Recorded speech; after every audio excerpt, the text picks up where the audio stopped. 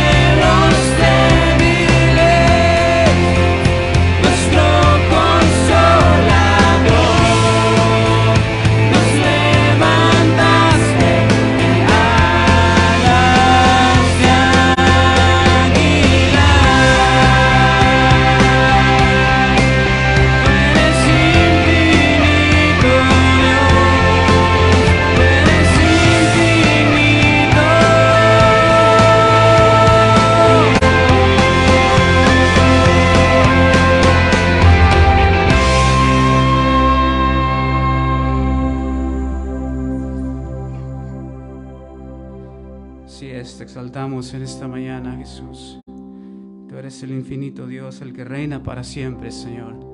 Exaltado sea tu nombre en esta hora.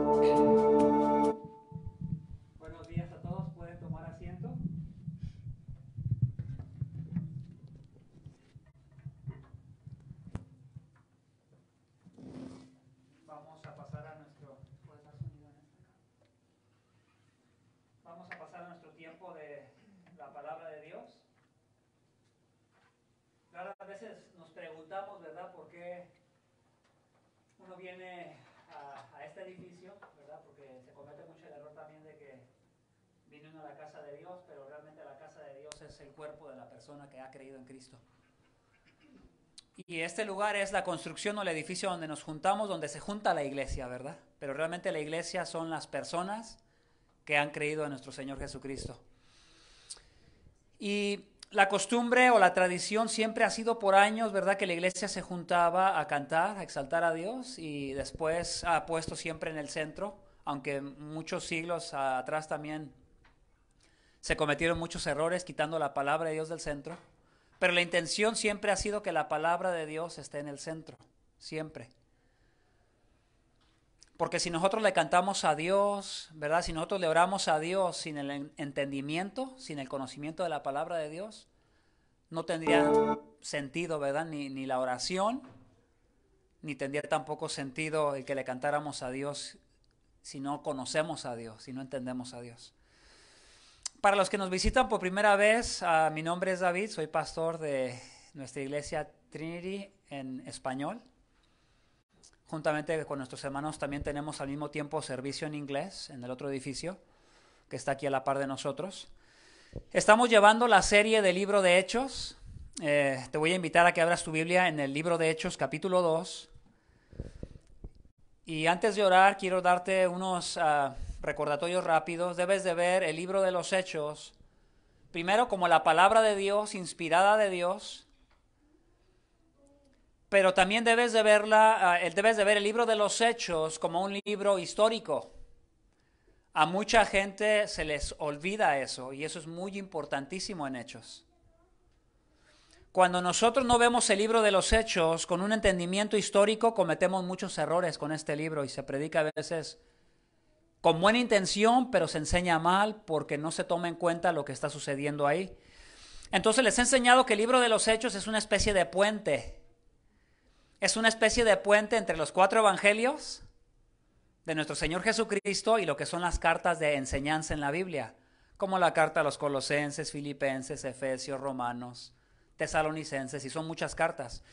El libro de los Hechos es una especie de puente. Nosotros miramos cosas sucediendo en el libro de los Hechos que no son para nosotros practicar y copiarlas exactamente como sucedieron. Mucha gente trata de copiar este, estas cosas que sucedían como milagros. Yo no estoy diciendo que Dios no haga milagros, Dios hace milagros, pero hace cuando Él quiere, como Él quiere. Pero nadie tiene el don ahora como lo tuvieron los apóstoles, nadie lo tiene. Y si alguien te dice que lo tiene, yo le diría que es un mentiroso, porque si lo tuviera, como les he dicho mucho, lo mandamos al hospital rápido a que sane a todos los que están enfermos de cáncer. Rapidito lo sanamos para que ponga la, lo enviamos para que ponga las manos y la gente se sane, pero sobre todo que la gente crea. Entonces vamos a ver algunas cosas aquí muy interesantes y te voy a pedir que me acompañes a orar. Vamos a pedir de la ayuda de nuestro Señor para que nos ayude a continuar. Vamos a estar viendo Hechos capítulo 2 desde el verso 37 hasta el verso 47. Ahí vamos a continuar. Padre, muchas gracias por la oportunidad que nos das de estar con nosotros nuevamente. Gracias por ayudarnos a poder compartir tu palabra.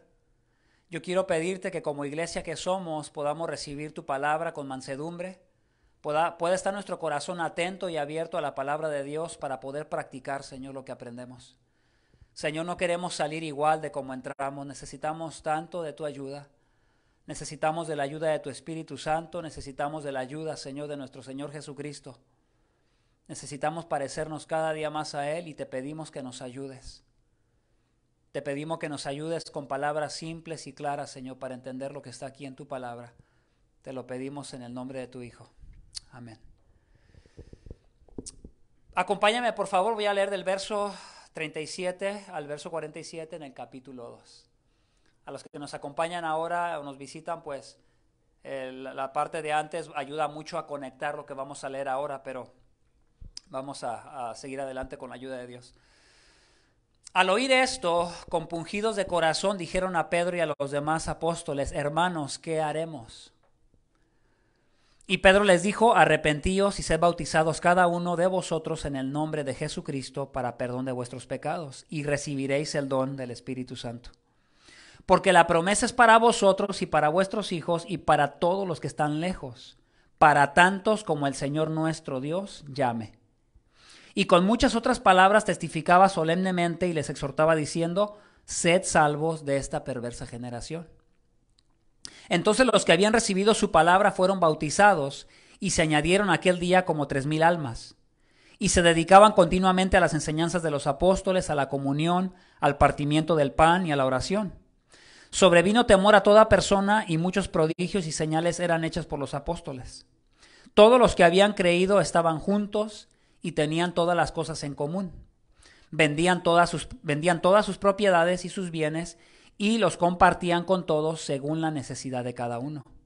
Día tras día continuaban unánimes en el templo y partiendo el pan en los hogares comían juntos con alegría y sencillez de corazón, alabando a Dios y hallando favor con todo el pueblo, y el Señor añadía cada día al número de ellos los que iban siendo salvos. De una manera muy general te vas a dar cuenta que estos diez versículos hablan acerca de lo que estaba sucediendo con la iglesia. Y estamos hablando de personas recién convertidas, el estilo de vida que vivían, la vida que había en ellos. Estaban viviendo a Cristo, no solamente como conocimiento en la cabeza, pero realmente estaban viviendo a Cristo. Estaban tan impactados que nosotros miramos todo lo que ellos estaban haciendo entre ellos como iglesia y cómo impactaban, ¿verdad?, a la sociedad judía de aquel día. Por título, a esta mañana quiero leerlo para ti, el Espíritu añade a la iglesia. El Espíritu añade a la iglesia. ¿Qué era lo que añadía el Espíritu Santo? Añadía personas a la iglesia. Y lo podemos ver, ¿verdad? Por el último versículo, el verso 47. El Señor añadía cada día al número de ellos. El Señor añadía personas a la iglesia, ¿verdad? Siempre es importante explicar un poquito, eh, antes de poder continuar el verso 37, nuestro hermano Eugenio predicó la semana pasada y él nos habló acerca del primer, de la primera predicación que el apóstol Pedro hizo. Y la vemos ahí en, los versos del capítulo 2, antes del verso 37. Si tú recuerdas, hubo una acusación que el apóstol Pedro le hizo a esos judíos, que esa acusación no puede ser hecha a nosotros en nuestro tiempo. La acusación que él hizo fue que ellos habían crucificado a Cristo. Puedes ir rápidamente al verso 36, dice, sepa pues con certeza toda la casa de Israel que a este Jesús, a quien vosotros crucificasteis, Dios le ha hecho Señor y Cristo. Mira lo que dice el verso, 23, el verso 24. Perdón, verso 23. Voy a regresar uno arriba del 24. Verso 23. A este, entregado por el plan predeterminado y el previo conocimiento de Dios, clavasteis en una cruz por manos de impíos y le matasteis. ¿Estás poniendo atención a la acusación que Pedro les está haciendo? Él les está diciendo, ustedes directamente participaron. Las personas que están escuchando ahí no sabemos si participaron, si levantaron la voz cuando Jesús está siendo crucificado o antes de ser crucificado hubo gente que gritó crucifícale. Posiblemente hay personas ahí escuchando la predicación que participaron de esos gritos. Pero lo que notamos es que Pedro los hace responsables de su muerte. Y déjame decirte que yo en esta mañana no te podría ser responsable de la muerte de Cristo en la cruz, eh, de, eh, de Cristo en la cruz porque tú no estuviste ahí, ¿o sí? ¿Alguien de ustedes estuvo en la cruz cuando estaba siendo crucificado el Señor? ¿Verdad que no? O sí, los veo como pensativas. Pero no, nadie de nosotros estuvo ahí. Entonces la acusación que Pedro hace a los judíos que están ahí era totalmente razonable porque ellos estuvieron ahí y participaron de la muerte del Señor. Pero lo grave para ellos era que se puede decir que era el peor crimen que ellos podían cometer, el peor crimen. Porque les está diciendo, ustedes están, ustedes participaron en la crucifixión y muerte del Señor Jesucristo. Y lo triste es que ustedes lo miraban solo como un hombre. Pero a ese que ustedes miraban solo como un hombre, como Jesús de Nazaret, Dios le ha hecho Señor y Cristo. Eso es muy grave, ¿sabes? Es muy grave. Porque les está diciendo, ustedes no solamente crucificaron a un hombre, ustedes crucificaron al Señor de gloria. Ustedes crucificaron a la segunda persona de la Trinidad, a Jesucristo mismo, que es Dios hecho hombre. Esa es una acusación muy grave, hermanos y amigos que están aquí. Es tan grave que es el peor pecado que alguien podía cometer en aquellos tiempos. Si lo comparáramos con el peor crimen que puedes cometer ahora, no aplicaría igual, pero en palabras simples podría decir que si tratáramos de aplicar ese crimen o ese pecado que ellos cometen contra nuestro Señor Jesucristo en nuestro tiempo sería rechazar al único que te puede salvar. Tú que eres un pecador, que no eres capaz de cumplir la ley porque no eres perfecto y la has quebrado, y eres culpable de haber quebrado la ley de Dios porque nadie es perfecto, todos hemos mentido, todos hemos robado, todos hemos en ocasiones quebrado la ley de Dios y a veces lo hacemos ya a izquierda y a derecha sin pensar, sin reflexionar. Pero la ley de Dios nos hace culpables porque la ley de Dios es moral. Y todos somos culpables de haber quebrado esa ley. Entonces todos merecemos ser castigados por Dios. Todos, absolutamente todos. Hasta el bebé más inocente que tú te puedas imaginar que ha pecado se hace responsable ante Dios. Y como Dios es santo, perfecto, sin mancha, todo ser humano merece morir, porque la ley de Dios lo condena, lo hace culpable ante un Dios que nunca ha pecado, que nunca va a pecar. Entonces la única esperanza era que el Señor Jesucristo fuera crucificado, para que Él fuera castigado en lugar de que tú seas castigado. Eso es lo maravilloso del Evangelio, ¿verdad? Que nosotros siendo culpables, Cristo murió por pecadores culpables que merecen la ira de Dios, para que a través de que pongan su confianza en Él puedan ser salvados de la ira de Dios, que viene sobre los hijos de desobediencia, dice la Biblia. Entonces, ¿qué pecado se compararía al pecado que ellos eh, cometieron? que tu única esperanza sea aquel que murió en la cruz y que tú lo rechaces. Sería un pecado tal vez similar o comparativo, pero no de la misma índole, ¿verdad? Porque el pecado de ellos fue participar en la muerte del mismo Señor Jesucristo que era santo, perfecto, sin mancha. Y entendiendo un poquito esa, esa culpabilidad que Pedro les pone encima, ahora tú vas a poder entender los versículos. La primera cosa que te quiero enseñar es que ellos hicieron la pregunta apropiada. Estas personas escucharon la predicación que, que predicó Pedro en los versos anteriores al verso 37 y ahora vamos a ver del verso 37 en adelante la respuesta de aquellos que escucharon el mensaje. Observa el verso 37. Ellos hicieron la pregunta apropiada. Al oír esto, ¿qué fue lo que ellos escucharon? Que son culpables de haber crucificado al Señor Jesucristo en una cruz. ¿Verdad?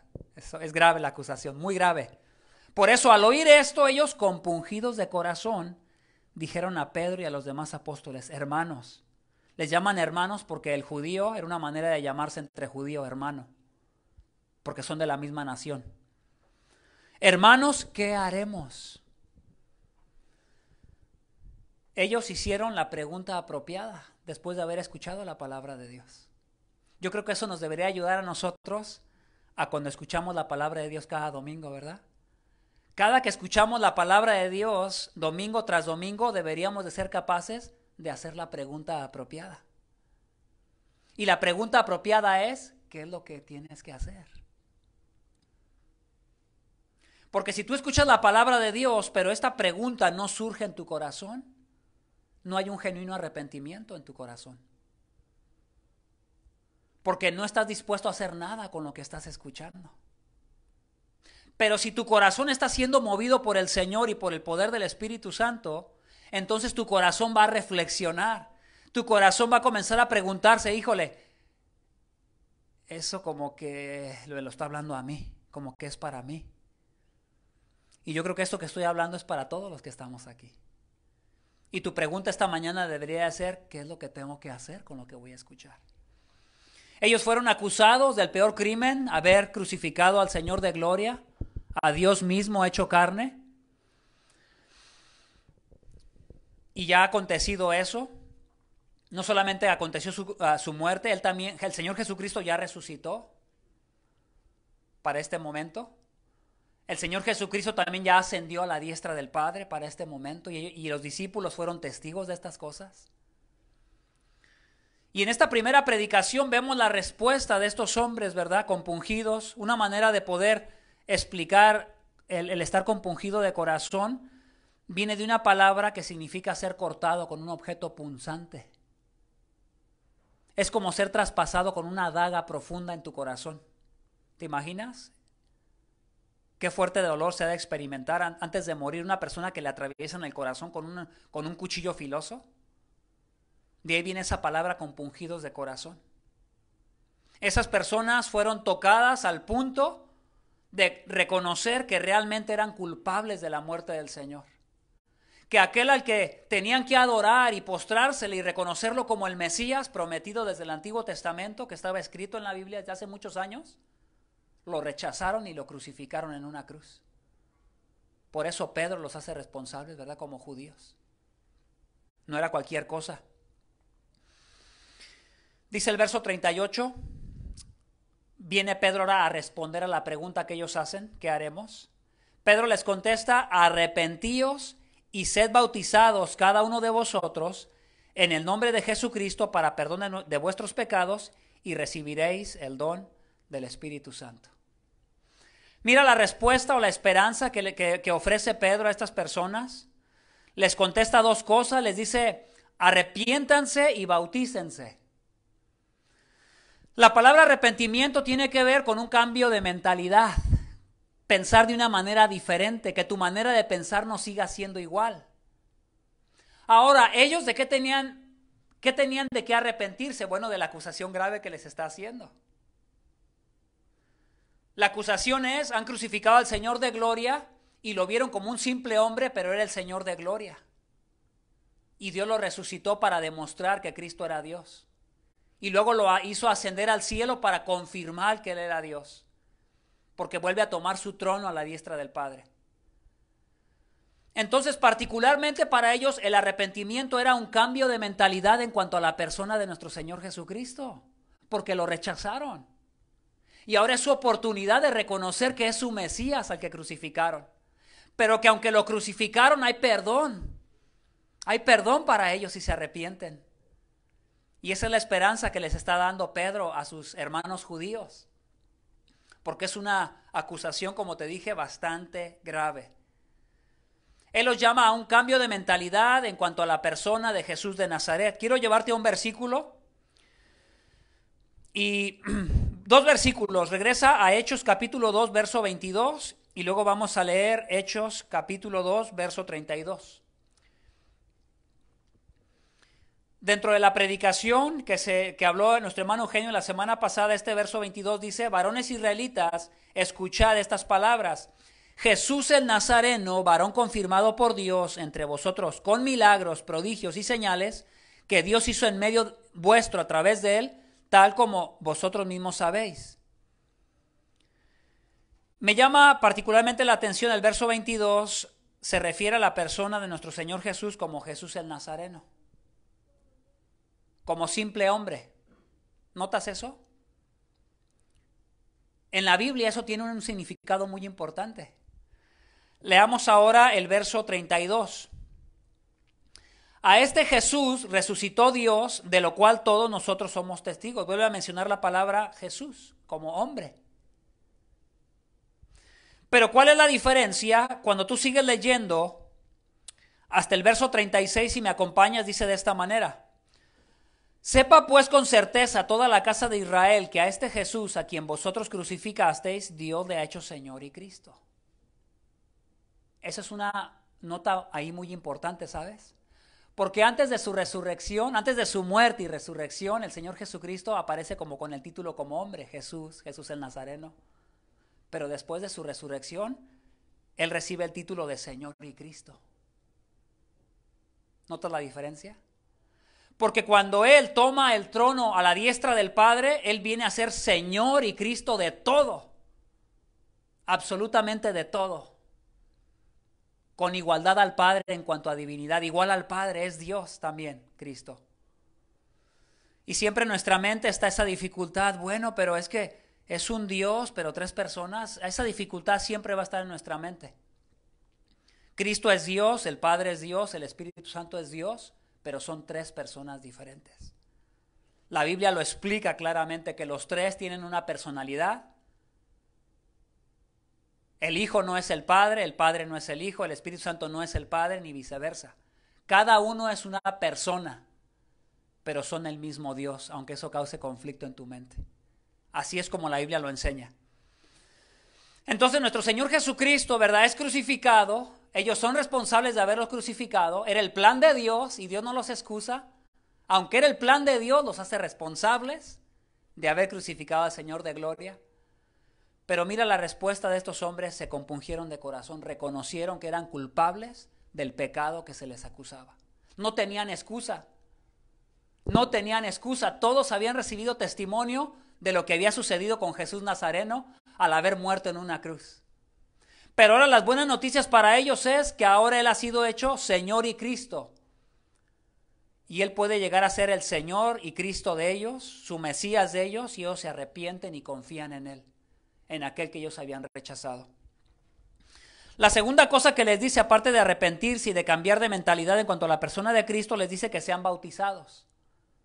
Posiblemente la mayoría de ustedes sabe y ha escuchado, la tradición que la iglesia ha seguido es hacer el, practicar el bautismo en agua. Y la manera como se practicaba era sumergir a la persona en agua. Ahora el bautismo no salva. Nosotros lo hemos escuchado muchas veces, el, agua no tiene ningún poder, porque si así fuera, si el agua tuviera poder, ¿verdad? Iríamos rápido a la pila, cada quien agarraría una cubeta y nos iríamos por todas las calles mojando a todas las personas. Bueno, y para empezar, nosotros mismos nos sumergeríamos otra vez a la pila con agua, para ver si cambiamos un poco más rápido, ¿verdad?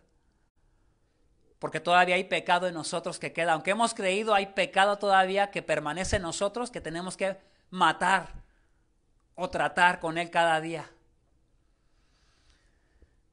Pero el bautismo viene a ser la señal que representaba, ¿verdad?, el arrepentimiento que ellos habían tenido. A lo largo de todo el libro de los Hechos, el bautismo sucedió en diferentes momentos, no es una regla.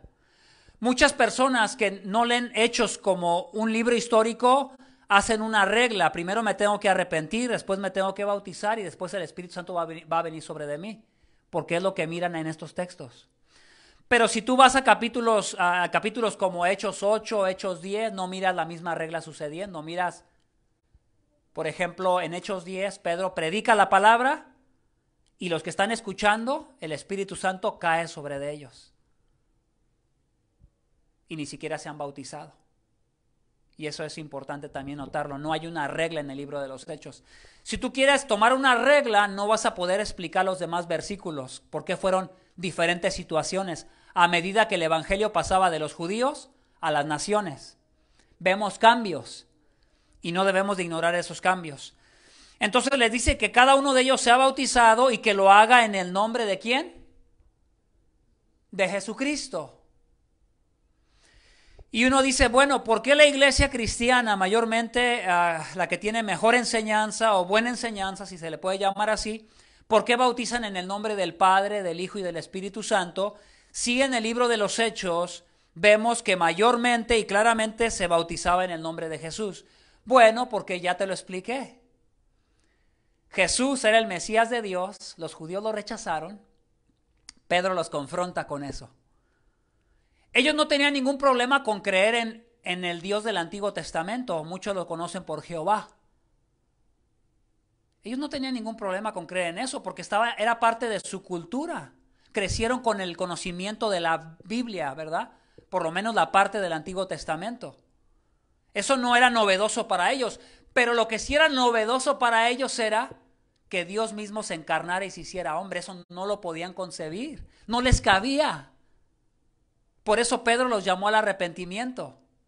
No los llamó a que recibieran a Dios, no los llamó a nada en cuanto a la ley, particularmente que ya conocían, los llamó particularmente al arrepentimiento en cuanto a lo que tenía que ver a la persona de Cristo. Porque lo habían rechazado y lo habían crucificado. ¿Te das cuenta? Entonces, ¿por qué? ¿Por qué bautizan en el nombre de Jesús? Porque ellos como judíos tenían que recibir a Jesús y entender quién era Jesús, que era Dios mismo. Y ellos al someterse al mandamiento de los apóstoles, ellos no están negando ni al Padre ni al Espíritu Santo al bautizar en el nombre de Jesús, porque todo el capítulo 2 encontramos la Trinidad. Vamos a retroceder algunos versos, por ejemplo, si, si tú retrocedes a Hechos capítulo 2 y tú vas al verso 16 y 17, dice de esta manera, sino que esto es lo que fue dicho por medio del profeta Joel y sucederá en los últimos días, dice Dios, Ahí está el Padre hablando en el Antiguo Testamento. Si tú retrocedes al verso 4 de Hechos capítulo 2, dice de esta manera, todos fueron llenos del Espíritu Santo y comenzaron a hablar en otras lenguas según el Espíritu les daba habilidad para expresarse. En toda la predicación del capítulo 2 vemos al Padre y al Espíritu Santo interactuando y al Hijo siendo el principal mencionado en el mensaje como confirmación de que él era el Mesías. Lo confirmó Joel y lo confirmó también el rey David como profeta los dos, ¿verdad? Recordando lo que nos habló nuestro hermano la semana pasada. Entonces, ¿por qué ellos bautizan en el nombre de Jesús? Por el contexto de ellos, que tenían que reconocer quién era Jesús. Y por eso el énfasis en el bautismo en el nombre de Jesús. No es que un bautismo por usar el nombre de Jesús vale y el otro bautismo por usar el nombre de, el hacerlo en el nombre del Padre, del Hijo y del Espíritu Santo no vale. Porque la palabra, hermanos, no es mágica. Si nosotros tratásemos de leer el nombre de Jesús en el original, no podemos, hermanos. Jesús viene de una traducción de un, de un dios pagano, que es Zeus. Pero para nosotros, cuando escuchamos la palabra Jesús, ¿con quién nos identificamos rápidamente? No nos identificamos con Zeus, ¿verdad que no? El dios del agua o del mar. ¿Con quién nos identificamos? Con aquel que vino de parte de Dios, que hizo las señales a los judíos. Ellos creyeron porque las señales lo confirmaban que venía del Padre y después murió para ser castigado y recibir la ira del Padre para que pudiese haber perdón de pecados para todo aquel que cree. Entonces nosotros escuchamos Jesús y rápido nos identificamos con aquel que murió en una cruz. Pero el nombre, hermano, no es mágico. Mucha gente piensa que porque menciona el nombre de Jesús, los demonios van a correr. Y eso no es a lo que los demonios corren. A lo que los demonios corren, y hay veces hasta nosotros mismos como personas, como seres humanos, es a quién es la persona del Señor Jesucristo. Un Dios santo. Un Dios que no se mezcla con el pecado. Un Dios que es puro. Y como es tan puro, también se aira tanto que Él le da su merecido siempre al pecado. Y eso a nosotros nos pone como a temblar, nos debería de poner a temblar. Que Dios es un Dios serio y que le da al pecado siempre lo que el pecado se merece. Y sabemos que le va a dar su merecido al pecado porque el infierno está preparado para eso. Para que todo aquel que no crea en Él y que rechace la única alternativa de salvación que hay en el Señor Jesucristo, pues termine yendo a ese lugar porque voluntariamente ha decidido rechazar la única, ¿verdad? La única esperanza que hay, el único camino que hay para nosotros que somos pecadores y que necesitamos de un Salvador. ¿Cuál era el propósito de que ellos se bautizaran y de que ellos, de que ellos se arrepintieran y bautizaran? Lo dice ese mismo verso 38, para perdón de vuestros pecados y para que recibas el don del Espíritu Santo. Hermano y amigo, Dios no perdona a nadie de a gratis. A nadie. ¿Sabes por qué el Padre puso a su Hijo en la cruz? Porque Él castiga siempre el pecado. Si la humanidad no estuviera en problemas con Dios, Dios no hubiera puesto a su Hijo en la cruz. Pero la humanidad está en problemas con Dios por causa de su pecado y merece el infierno ¿Por qué? Porque ha quebrado la ley de Dios y no es digno de entrar al cielo y es más, ni siquiera puede. Porque en el momento que quebra un solo mandamiento o comete la primera mentira, ya se hizo indigno. Porque para poder entrar al cielo, hermanos, la exigencia es ser perfecto. ¿Sabías eso? Hay que ser perfecto para entrar al cielo. ¿Y quién es perfecto aquí? Nadie de nosotros. Pero aquellos que confían en el Señor Jesucristo, la promesa es, hay perdón de pecados porque alguien está siendo castigado. Y eso la Biblia le llama la sustitución. Alguien puede tomar tu lugar si tú reconoces, ¿verdad?, que eres pecador y que mereces el castigo. Pero alguien ha tomado tu lugar si tú realmente crees, si tú realmente confías en el Señor y confías en la obra de Jesucristo para que puedas entonces también recibir el perdón de tus pecados. Porque si no entiendes primero lo que es el problema que tienes con tus pecados, no tiene ningún sentido que te ofrezca perdón, como si fuera a cualquier cosa, ¿verdad? Que se remata en el tianguis, como decimos allá en nuestros países. Y también les ofrece la promesa del Espíritu Santo. Ahora ellos, los judíos, ellos siempre recuerda que habían entendido que el templo era qué? Pues la construcción era, era un templo. Los de nosotros ya ni se parecen absolutamente a, lo que es el templo judío. El templo judío era señal de reverencia a tal grado que ellos subieron a la fiesta a festejar, la fiesta de Pentecostés. Y era tal la reverencia que solo en ese lugar se podía ofrecer el sacrificio del cordero, para que el cordero muriera, recibiera la ira de Dios y entonces se ofreciera el perdón de pecados para aquel que venía a ofrecer el cordero. Entonces el templo era un lugar de mucha reverencia. Pero aquí estamos viviendo en Hechos capítulo 2 el cambio de Dios. Que lo que era para los judíos el templo, ahora Dios estaba abandonando esa construcción. Dios estaba voluntariamente y determinado él por su plan a abandonar su presencia, el templo judío, para venir a morar en templos humanos, en cuerpos humanos. Y esa transición sucede aquí en el libro de los Hechos. Los judíos no tienen ese entendimiento todavía. Ellos ven al templo como el lugar donde Dios viene a habitar. Los cojos, hermanos, no podían entrar, no se podían acercar al patio a orar. Los que les hiciera falta alguna parte de su cuerpo no podían entrar. Cualquiera que tuviera un defecto humano, hermanos, no podían entrar. Eran indignos porque físicamente no eran perfectos, si le podemos decir así. Pero la promesa es que para todo aquel que cree en el Señor Jesucristo hay perdón de pecados, pero también la persona viene a ser una casa para Dios. Los judíos están siendo impactados con esto porque dicen, ¿qué? ¿El templo? ¿El lugar santo ahora voy a ser yo? Es lo que está sucediendo aquí. Dios dejó de habitar en templo hecho de manos humanas, una construcción, y ahora Él determinó desde el tiempo del libro de los Hechos en adelante hacia nosotros, determinó venir a ser ahora Él el que mora en cuerpos humanos, de hombres y mujeres, que se arrepienten, que cambian su mentalidad en cuanto a Dios y que creen lo que dice la Escritura, que se ponen de acuerdo con lo que dice la Escritura y confían en lo que Dios dice, ellos se convierten solo por la fe en casas donde Dios quiere habitar. ¿No es eso asombroso? Te voy a dejar un minutito para que lo pienses. ¿Crees que realmente eres casa de Dios? Si tú te has arrepentido, eso es lo que dice la Escritura. Que eres templo de Dios. Donde Dios viene a habitar, donde Dios viene a morar.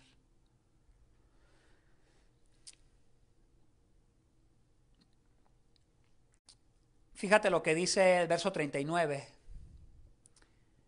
y también el verso 40. Es parte todavía del mensaje de, de, Pedro. Les promete perdón y les promete el don del Espíritu Santo. Y dice el verso 39, porque la promesa es para vosotros y para vuestros hijos y para todos los que están lejos, para tantos como el Señor nuestro Dios llame. Y con muchas otras palabras testificaba solemnemente y les exhortaba diciendo, sed salvos de esta perversa generación. ¿Cómo? Perversa generación y, y, tenía, tuvieron el Antiguo Testamento el conocimiento de Dios por siglos y les llama perversa generación. ¿Cómo estarían las demás naciones?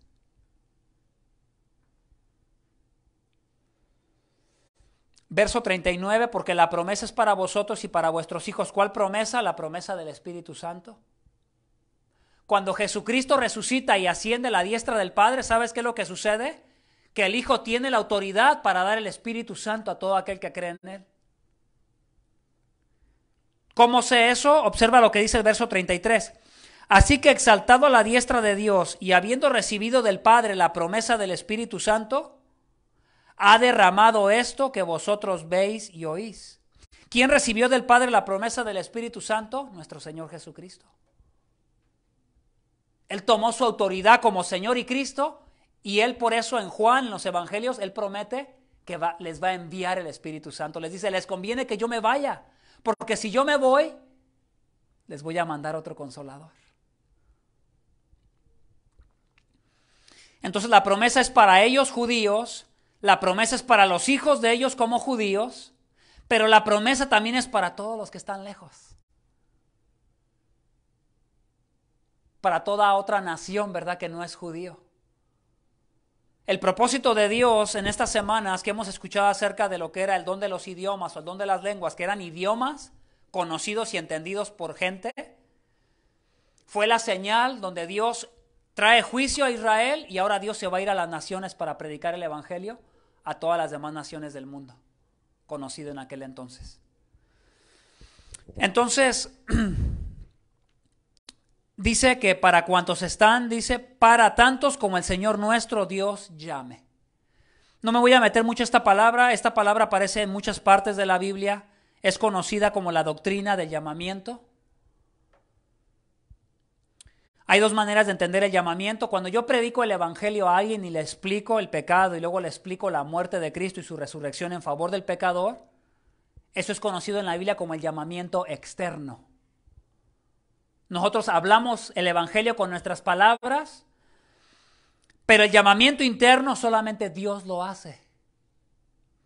El llamamiento interno es cuando el pecador escucha a través del mensaje de la palabra de Dios la verdad de Dios y es convencido por la verdad de Dios y responde y crea el mensaje y se arrepiente.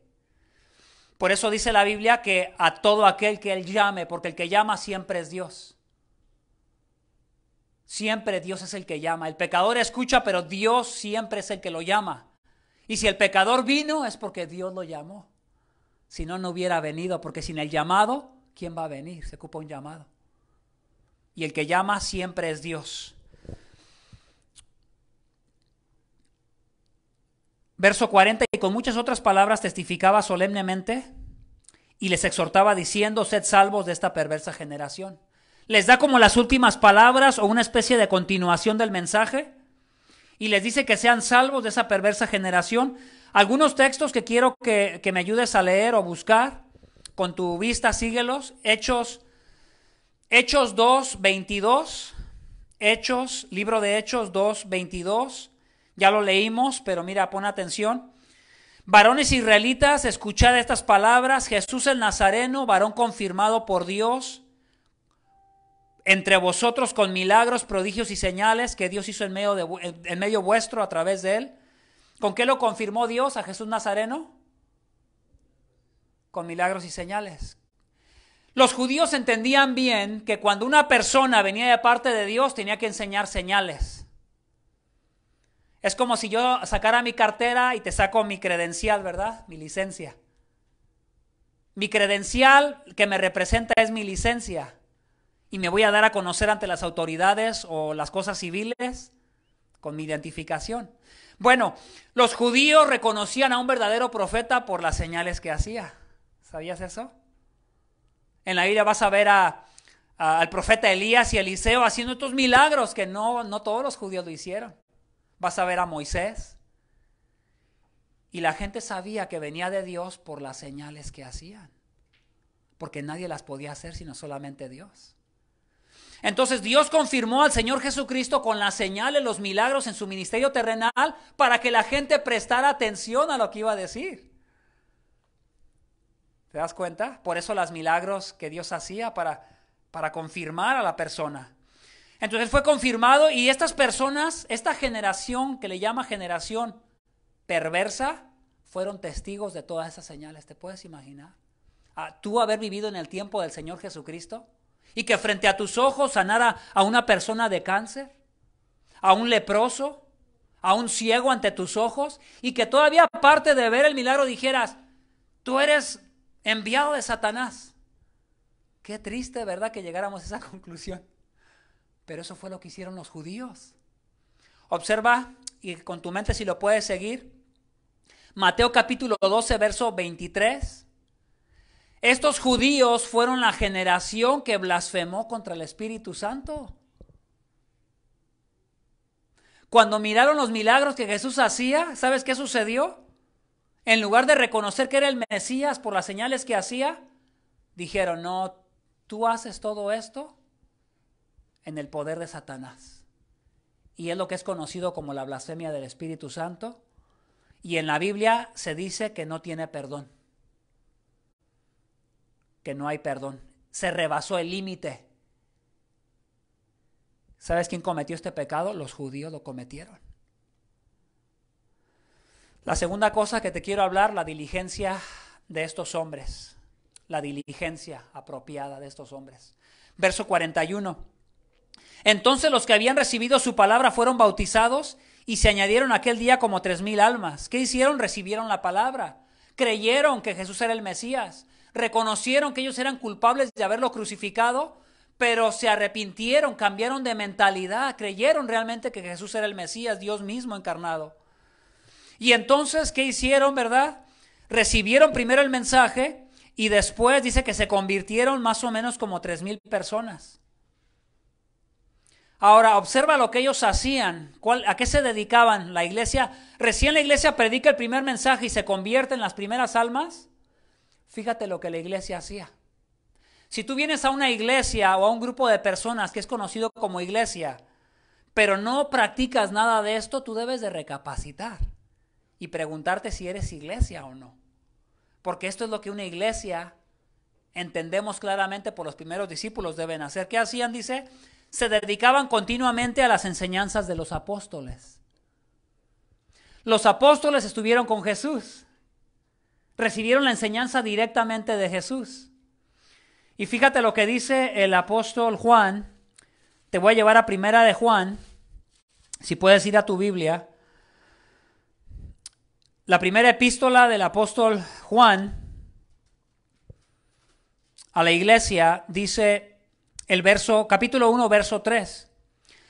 Lo que hemos visto y oído os proclamamos también a vosotros, para que también vosotros tengáis comunión con nosotros y en verdad nuestra comunión es con el Padre y con su Hijo Jesucristo. Lo que hemos visto y oído, dijo el apóstol Juan, ¿sabes a quién se, están refiriendo, a quién se está refiriendo? Al Señor Jesucristo. A ellos nadie les contó, ¿sabes? Ellos lo tocaron al Señor Jesucristo. Ellos vieron las señales frente a sus ojos. Ellos recibieron la enseñanza directamente del Señor Jesucristo. Si alguien podía enseñar lo que Jesús enseñó, ¿quiénes eran? Los apóstoles. Porque estuvieron con Él, fueron testigos de Él. Y para que pudieran ser apóstoles necesitaban ser testigos inmediatos, directos de Jesús. Nadie puede ser apóstol en nuestro tiempo porque primera no hay necesidad. Segunda, el, título se escucha bonito, pero le da mucha importancia a la persona cuando alguien le comienzas a llamar. Yo, ya viene el, apóstol de Dios y todo eso. Es nada más lenguaje que la gente ha adoptado, pero a veces no entiende la Biblia. Nadie puede ser apóstol ahora, ¿por qué? Porque había que estar con él directamente. Y si nosotros ya tenemos la enseñanza de los apóstoles, tenemos las cartas del apóstol Pablo, que son muchas cartas. Tenemos la carta, las cartas de Juan, tenemos las cartas de Pedro, tenemos las cartas a Timoteo y a Tito. Ya tenemos toda la enseñanza de los apóstoles aquí. ¿Cuál es la necesidad de apóstol? Hay veces se convierte nada más en un título y en una moda que se da a veces dentro de la iglesia. Pero nosotros como iglesia seguimos el fundamento de los apóstoles, porque los apóstoles vivieron, predicaron el Evangelio, se corrió por todo el Medio Oriente y ellos formaron discípulos que son conocidos como los padres apostólicos. Y ninguno de los padres apostólicos nunca se hizo llamar apóstol. Ahora vemos mucho el título de apóstol, pero fue porque en el año 1900, como te expliqué hace dos semanas, la iglesia pentecostés comenzó a promover mucho de los dones espirituales otra vez y los comenzó a mal utilizar, volviendo a reclamar de alguna manera el don apostólico y los dones de sanidades y el don de lenguas y aplicándolos de una manera mal. Pero por 1900 años no hubo las señales que hubo y que muchos reclaman hacer ahora por 1900 años, escucha. Desde la primera generación de discípulos que vienen después de los apóstoles hasta el año más o menos 1900, no vemos el tipo de señales que hicieron los apóstoles ni que hicieron algunos de los profetas en el Antiguo Testamento. ¿Por qué? Porque tenían una función muy particular, señalar el mensaje, apuntar hacia el mensaje, porque el profeta no venía con algo, el profeta no tenía una credencial escrita en papel, tenía que enseñar milagros para que la gente le dijera, ok, ahora sí te vamos a escuchar. Dinos el mensaje de Dios. Pero tenía que hacer de acuerdo a lo que enseñaba Dios. Como ya tenemos la Biblia completa, ya no necesitamos los milagros para confirmar. Ahora, la regla completa, que es la Biblia, confirma todo lo demás. Los apóstoles no tuvieron, hermanos, ese privilegio. ¿Te das cuenta? Por eso no debemos de esperar que los milagros sucedan a izquierda y a derecha y si no sucede me voy a desanimar. Porque no estoy entendiendo la Biblia. Elías y Eliseo hicieron muchos milagros y señales, pero igual que Moisés, pero a ver, por ejemplo, explícame por qué Abraham no hizo los milagros que hicieron ellos. Y Abraham es el, el, padre de la nación judía y Dios no lo usó para hacer esas cosas, ¿te das cuenta? Por eso es importante leer la Biblia como un todo completita, como un mapa que se acomodan todas sus... Cuando te vas aprendiendo, cuando tú abres todo el mapa y ves todas las calles, cómo se, se conectan y se, y, se juntan todas y, ves todo completo, dices, ah, estoy aquí y sé cómo llegar acá. Pero alguien que le dan un pedacito del mapa nomás acá abajo dice, ah, caray, pues sé, dónde, sé que estoy ahí, pero no sé dónde estoy ubicado en el mapa. Y así sucede con todas las personas que quieren agarrar un versículo de de hechos y quieren que suceda exactamente lo que le sucedió a los apóstoles. Eso no puede ser, hermanos, porque sería ir en contra de la Biblia. Y también no quiere decir que Dios no pueda sanar, hermanos, porque Dios, Dios es Dios. ¿Qué hay, ¿Qué hay imposible para Dios? Nada. Pero a veces la iglesia está más ocupada, ¿sabes en qué? En querer un milagro, pero no quiere vivir en santidad. Quiere un milagro, pero no quiere ser parte de una iglesia local, donde, que sea un cuerpo. Quiere, quiere un milagro, pero no quiere que nadie lo discipline ni que lo corrija. Quiere un milagro, pero no quiere someterse a lo que es la Biblia y obedecer lo poquito que sabe. Entonces, mucha gente se ha decepcionado por estos apóstoles que predican sanidades en la tele. Todos esos famosos, nómbrame uno, fíjate cómo empiezan y fíjate cómo terminan. Todos esos que ofrecen milagros a la gente. Ve cómo terminan. Terminan ofreciéndole a la gente lo que no les pueden dar. Y al rato son avergonzados por los noticieros y les comprueban con papel que ellos dijeron que había sanado y luego el papel en el doctor dice, no es cierto, mire, no se sanó. ¿Por qué engaña a la gente? Y la gente dice la gente, uy, así son todas las iglesias. Entonces, por eso es importante entender el propósito de las señales y que no lo vamos a reproducir como sucedió en el libro de los Hechos. La última, la influencia apropiada sobre de ellos. Ya miramos, ¿verdad?, lo que les sucedió, hicieron la pregunta correcta, se arrepintieron. Ya miramos lo que hacían, ¿verdad? Algunas de las cosas que hacían. Tenía que ver con la enseñanza de los apóstoles. Tenía que ver con, con la comunión unos con otros, o sea, el estar juntos, pasar tiempo juntos, el partir el pan. El partir el pan es la Santa Cena. Muchos de nosotros como romanos católicos en el pasado tenemos un poquito de, background, como dicen en inglés, y entendemos un poquito, pero bíblicamente ah, el partimiento del pan es ah, la Santa Cena, que representa la copa y que representa el pan, y que son símbolos del cuerpo y de la sangre de Jesús que fueron derramados en su muerte para recibir el castigo de todo aquel que cree en él. Y ellos también celebraban eso continuamente y dice, y la oración. Entonces, fíjate, tenemos muchas cosas ahí que nos deberíamos de examinar y preguntar, bueno, ¿cómo ando en estas cosas, verdad? ¿Cómo ando en la comunión? Hay veces ni nos vemos, ¿verdad? Y, y eso nos debe de llamar un poquito la atención, ¿verdad? La comunión es muy importante porque lo fue para los primeros discípulos. La pregunta sería, ¿es importante para ti estar con tus hermanos? ¿Es importante juntarte continuamente con ellos? La, última, la última, la tres, es la influencia apropiada sobre ellos. Del versículo 43 hasta el versículo 47 vemos la influencia del Espíritu Santo sobre ellos. Sobrevino temor a toda persona y muchos prodigios y señales eran hechas por los apóstoles. La palabra temor ahí es una, profunda reverencia que va mezclada de miedo y de asombro. Pues, ¿Cómo no van a estar con temor los milagros que están sucediendo? Pero no solamente es lo único que está sucediendo. Unos capítulos más adelante, en el capítulo 5 de Hechos, una pareja que miente de la iglesia, el mismo Dios les quita la vida, el Espíritu Santo los, les quita la vida, los mata. Y estamos hablando de la obra del Espíritu también. Entonces era serio, era tan serio lo que estaban haciendo que cualquiera que venía a romper la comunión que había entre ellos, Dios actuaba de manera seria. Y aquellos que estaban fuera de la iglesia decían, mejor yo no le entro.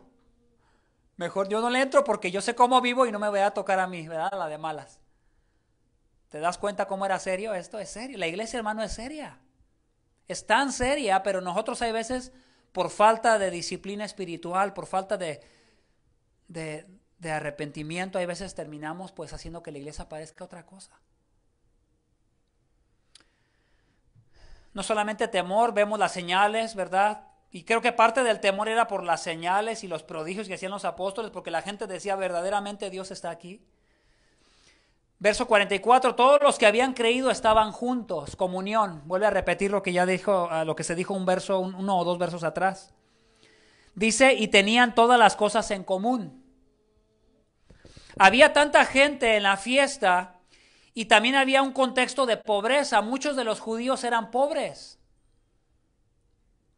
Entonces las personas ricas que tenían propiedades las vendían y de lo que se vendía ayudaban a los pobres para que, los creyentes pobres no pasaran necesidad y para que las personas que habían venido de fuera y iban a estar un tiempo en Jerusalén tuvieran sustento porque se estaban quedando para escuchar el Evangelio y para recibir, ¿verdad? Discipulado, enseñanza.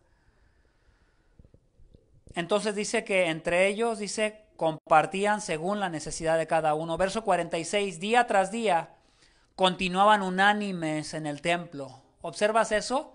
Día tras día. Partiendo el pan en los hogares, comían juntos con alegría y sencillez de corazón. No solamente celebraban la Santa Cena, pero también celebraban una fiesta de amor. Compartían la comida juntos. Era muy común, eso se sabe por la historia. No solamente era el partir el pan, pero también era tener una celebración juntos. Y comían, ¿verdad? Con sencillez de corazón, ellos, dice, dice la escritura.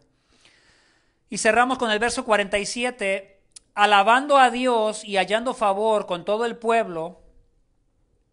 Después de que se nos dice la influencia del Espíritu Santo sobre de ellos, lo que estaba sucediendo entre ellos y la influencia que tenían para con la gente de afuera, dice que el Señor añadía cada día al número de ellos los que iban siendo salvos.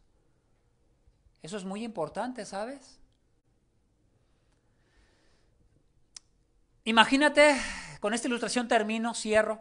Imagínate un, un refrigerador. Imagínate que estás preparando unos sándwiches, los preparas, los metes al refrigerador en un platillo grande y entonces te das cuenta que algunos de los sándwiches que tú pusiste juntos, la carne estaba un poquito pasada. Y te comienza a dar cuenta cómo ese sándwich se comienza a pudrir entre los sándwiches que se ven buenos. ¿Qué harías tú? ¿Lo dejarías ahí y lo ofrecerías a tu familia a ver si a alguien se le ocurre agarrar el sándwich malo y se lo come? o lo, o lo, lo quitarías, lo limpiarías, o sea, dejarías lo limpio y quitarías lo sucio. ¿Yo sabes qué creo que harías? Quitarías el sándwich que se está echando a perder y ofrecerías lo limpio a tu familia. Dios está comenzando la iglesia y Dios está limpiando a la iglesia. Para que cuando Dios siga añadiendo, siga añadiendo personas a una iglesia que se está limpiando. No a una iglesia que está contaminada. ¿Te das cuenta? porque como que no sería muy, muy bueno, ¿verdad? Estar agregando algo a algo que está contaminado. Primero hay que limpiarlo y le estamos ¿qué? agregando. Para que lo limpio purifique lo que está entrando y sea ejemplo para lo que está entrando, ¿verdad? En este caso nosotros hermanos somos sándwiches, pero somos personas. Y si te diste cuenta, hablé como metralladora, ¿verdad? y nada más te di parte de lo que Dios me ha dado a entender. Porque es mucho lo que hay aquí, no vamos a poderlo cubrir todo, pero espero que con la ayuda de Dios hayas comprendido este, esta parte histórica de la iglesia que, que ellos están crucificando al Señor, nosotros no lo crucificamos, nosotros somos culpables de que hemos quebrado la ley de Dios y nosotros tenemos la responsabilidad, como te dije al principio, ¿verdad?, de ser personas que estamos permitiendo que Dios siga añadiendo personas a la iglesia. Pero ¿qué tipo de personas vamos a ser nosotros como iglesia para que Dios siga añadiendo? El Espíritu añade, pero la iglesia se tiene que limpiar. El Espíritu va a seguir obrando, pero la iglesia se tiene que limpiar. Y se tiene que ofrecer, ¿verdad? Como algo no contaminado a Dios, para que lo que comience a suceder en la iglesia sea influencia del Espíritu, no de nuestra carnalidad. Bueno, entonces te voy a invitar ahí en tu lugar que oremos juntos. Y mientras yo oro, todos aquellos que son creyentes los voy a invitar a que participen de la Santa Cena. La Santa Cena es algo que regularmente uh, participamos.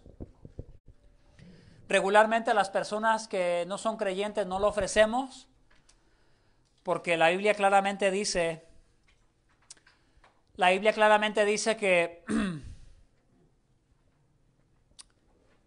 Cuando nosotros no ponemos atención a estas cosas, pues vivimos consecuencias. Ah, me recuerda mucho la parte de Corintios donde Pablo dice que el que no discierne, ¿verdad? Ni el pan ni el vino, en otras palabras, el que no entiende, el que no discierne por qué Jesús murió, ¿Por qué Jesús fue maltratado en esa cruz y luego derramó su sangre para morir? dice que mejor no participe porque juicio come para sí. ¿Has leído esa parte de la Biblia? Y, es bastante seria, ¿verdad? Entonces yo te invito que si tú eres creyente y quieres participar, ah, ahí algunas personas te van a ayudar. Vamos a estar pasando el jugo y vamos a estar pasando también, ah, juntamente con el jugo hay una galletita. Tiene un poco de dificultad, pero la tapadera le tienes que abrir primero una capa para llegar a la galletita y luego una segunda capa para llegar al jugo. Voy a orar y te quiero invitar a que reflexionemos sobre lo que hemos hablado. Y después de orar, te voy a invitar a que participes del jugo y de ese pequeño pedacito de galleta que representa el cuerpo y la sangre de nuestro Señor que ha sido entregado por nosotros, que ha sido entregado por nosotros para que recordemos, ¿verdad?, lo que sucedió el día que Él, que él entregó su vida. Padre, muchas gracias. Queremos Queremos cerrar este tiempo, Señor, con, con un tiempo de reflexión, con un tiempo, Señor, en el cual podamos adorarte recordando, Señor. Tu palabra dice que cuando celebremos la Santa Cena lo hagamos en memoria de ti. Nosotros sabemos, Señor, que esto representa solamente tu cuerpo y tu sangre. Y sabemos que cuando lo hacemos, lo hacemos, Señor, para conmemorar tu muerte, Señor. Tu palabra dice que es mejor estar, Señor, en la casa de luto que en la casa de fiesta, Señor. Porque pareciera ser que en la casa de luto hay tiempo para reflexionar. Primero, porque la muerte física nos va a llegar a todos. Y segundo, porque la muerte física es consecuencia de nuestro pecado, de nuestros primeros padres. Por eso en, esta, en este mediodía, Señor, quisiéramos pedirte que, que cada uno se examine a sí mismo, que cada uno eche un vistazo hacia adentro de su propio corazón y pueda recapacitar en cuanto a cómo está viviendo y cómo está representando a su iglesia. Y te pido, Señor, que tú estés presente con nosotros mientras te recordamos. Gracias, Señor, por haber muerto. Gracias por haber sido castigado por todos nuestros pecados, Señor. Te bendecimos, Padre, y te damos gracias en el nombre de nuestro Señor Jesucristo. Amén. Usted puede participar. Si así quiere, adelante.